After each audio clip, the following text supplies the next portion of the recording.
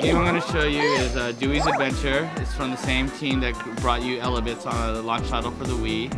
Um, other than, um, the artist is also from uh, Elebits, but other than that, the gameplay is completely different. It's a brand new game.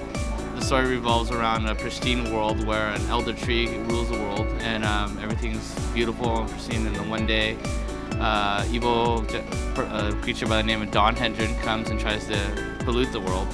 And Elder Tree uh, bears Dewy, who is a special water drop that comes to save the world. Um, basically, this game, you control the full environment. You don't really control the character. Um, you move the character around by tilting the world and uh, moving the Wii Wiimote in a sliding sort of motion. And you also have the ability to change the temperature. Turn it to very hot temperature where Dewy turns into steam. Also turns to ice, snow. And each uh, form has special uh, strengths and weaknesses. When you're ice form, your attacking is the strongest, but movement's very hard. Um, when you're in steam mode, it's very hard. It, you can't move Dewy around. You can just uh, turn the world. And you can also shake the Wiimote and cause wind and earthquakes.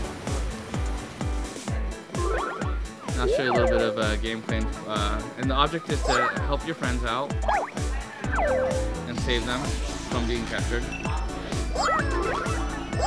And that would be falling off and dying.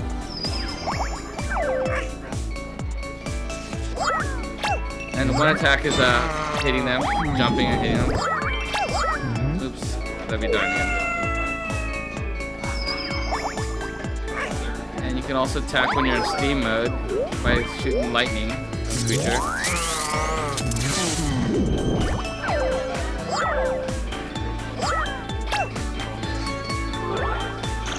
Um, these things help you get shoot you to the next area.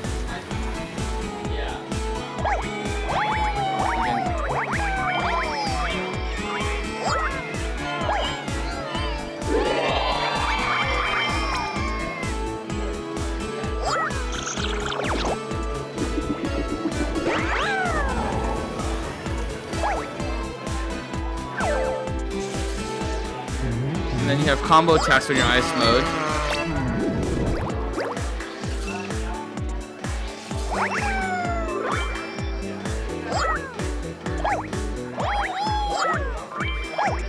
And you also have a spin attack when you're in ice mode.